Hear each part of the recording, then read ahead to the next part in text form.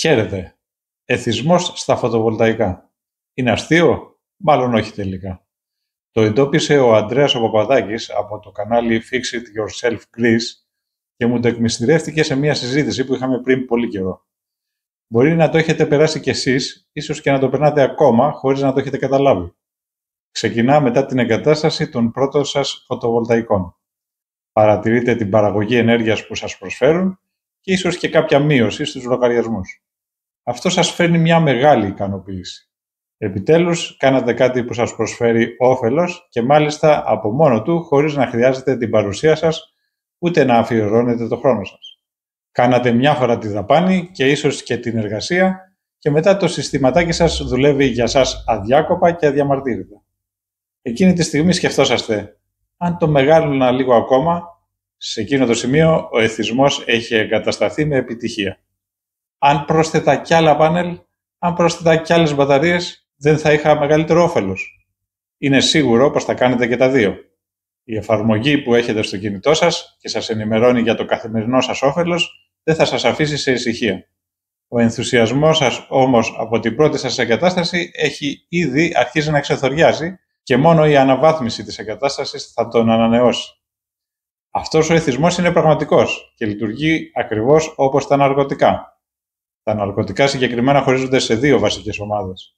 Αυτά που ανεβάζουν τα επίπεδα σερωτονίνης και αυτά που ανεβάζουν τα επίπεδα ντοπαμίνης. Και τα δύο υπάρχουν ως φυσικοί νευροδιαβιβαστές του εγκεφάλου και μας έχει πρικήσει η φύση με αυτούς για να μας δώσει το κίνητρο. Το κίνητρο για να εξελισσόμαστε και να πετυχαίνουμε. Η σερωτονίνη μας κάνει να αισθανόμαστε ευτυχισμένοι και η τοπαμίνη επιτυχημένη. Η σερωτονίνη μας φέρνει χαρά, ενώ η τοπαμίνη ικανοποίηση.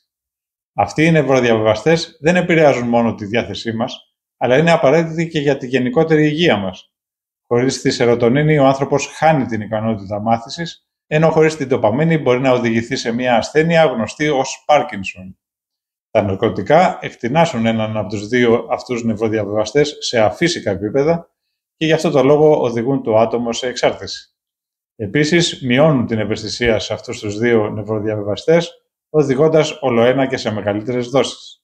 Τα φωτοβολταϊκά προκαλούν την άνοδο της δοπαμίνης, δηλαδή προκαλούν αυτό το αίσθημα ικανοποίησης και δευτερευόντως ίσως ανεβάζουν και τη σερωτονίνη.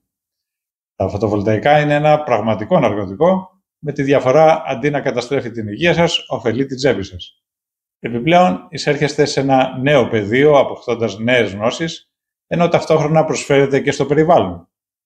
Ο ηθισμός αυτός θα έχει μια πεπερασμένη διάρκεια, αφού κάποια στιγμή θα έχετε καλύψει πλήρως τις ενεργειακές σας ανάγκες και θα ξανασχοληθείτε με τα φωτοβολταϊκά ξανά μόνο σε περίπτωση που προκύψει κάποιο πρόβλημα.